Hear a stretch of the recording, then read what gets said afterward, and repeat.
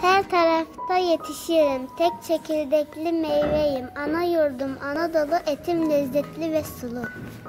Yaz gelince ilk önce patlıcan yemeli bence. Hem sağlıklı hem lezzetli pişir pişir patlıcan ye. Çiçek olur açılırım, mercan gibi saçılırım. Hasta yener sorulmaz, şurubuma doyulmaz. Çalılıkta ormanlarda, bahçelerde, çayırlarda yetişirim çeşit çeşit satılırım pazarlarda. Sebze deyip kalmayın, ıspanaksız kalmayın, kışın yiyin bol bol, böyle kısa kalmayın. Ege'de zeytin yetişir, lezzetiyle bilinir. Var mı öyle sağlıklı, en güzel zeytinyağı?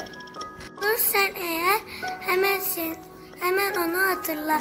Ekşi sulu bir limon kaldırır seni ayağa. Tek kayısısı yemişlerin aslısı. Pestilde yapılır, yiyenler pek bayılır. Ödemiş de sarısı, kastı ise beyazı. Her yemeğin başıdır, yerin altında saklıdır. Kat kat yapraklar, içinde neler saklar. İster turşu yap, ister sar lahanası, ev ne yapar. Adımdır mandalina, sağlık veririm sana. Pes sevli meyveyim bol bol yiyin bakalım. Salatasız yemek eksik kalmış demek. Yeşil taze bir marul elbette sağlık demek. Adama, ana, adam buradan şaşma. Yerli muz en, en güzeli, mutlu eder yiyenleri. Rengi güneş gibi, tavşanlar bilir işi. Havuç yiyin, arkadaş, tadı var şeker gibi. Bu sana şeftalisin. Kilo dur bir tanesi. Şeftaliyi kim sevmez? Tadına doyum olmaz.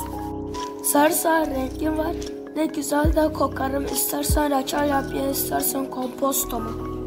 Giresun zengin olsun, cebiniz fındık dolsun.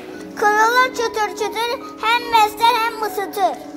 Cevizi de unutma, beslenmek zorundasın. Pestiline sar da ye, turbet versin diyorsan.